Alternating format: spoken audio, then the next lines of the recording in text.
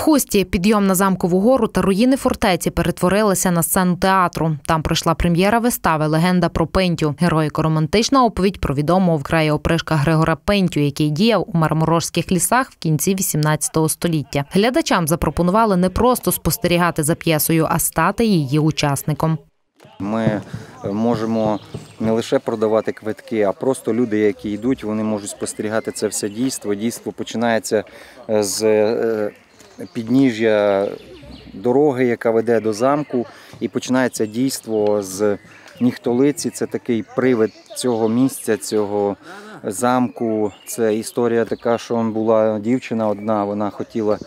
Хотіла одружитися за коханого, але батько був проти, і батько їй нас е, сказав, що ну вона повісилась просто і стала таким привидом цього місця. Згідно зі сценарієм, душа дівчини бродить руїнами замку і розповідає легенди, пов'язані з фортецею та цими лісами. Невдовзі глядачі-учасники зустрічають батька нещасної.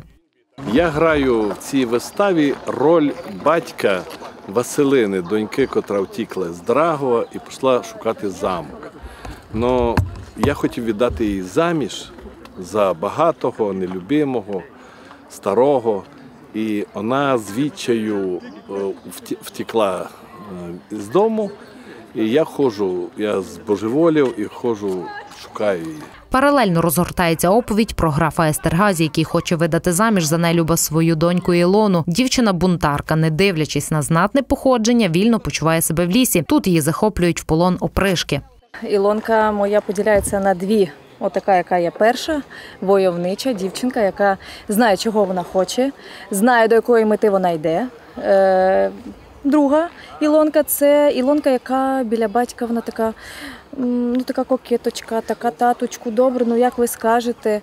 Е, але мені більш до подоби перша. Невдовзі один з опришків її відпускає, і тут же вимальовується любовний трикутник, адже сподобалася красуня й ватажкові повстанці в пенті. І не варто забувати про ще одного претендента на руки Ілони, багатого барона. Переповідати всю виставу не будемо, але все закінчиться хеппі-ендом. Все через хеппі-енд. Закінчиться все добре. Публіка виставою залишилась задоволена. каже, що дійство розгорталося настільки динамічно, що навіть не помітили крутого підйому на замкову гору.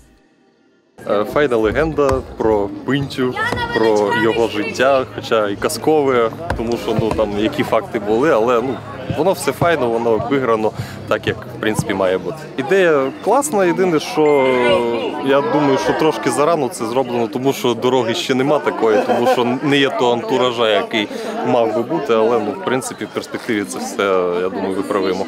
Ці враження вони набагато інші, ніж ті, що в залі.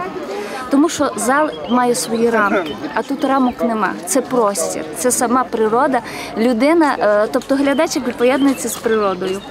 І це настільки класно, настільки гарно, воно просто чудово. Я думаю, у цьому напрямку мистецтва дуже велика перспектива. Як для керівництва театру, так і для акторів, постановки під відкритим небом та ще й на такій великій території новий досвід. Проте корисний та незабутній.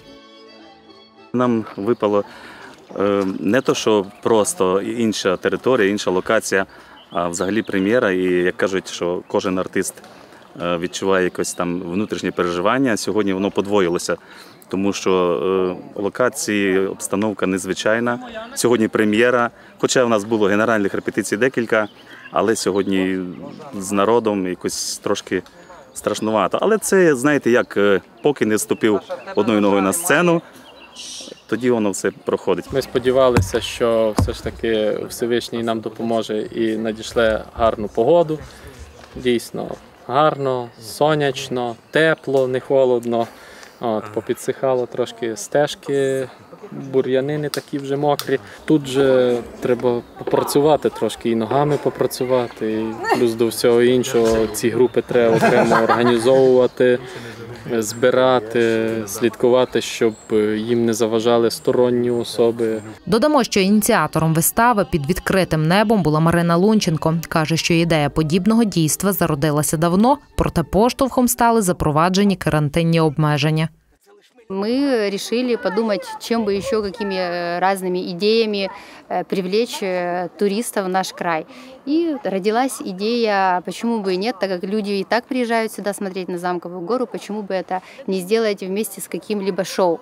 Поэтому родилась такая инициатива, которая была предложена нашим, нашему театру, и классно, что они подхватили идею. Наразі такі дійства планують проводити на постійній основі, але за попереднім замовленням.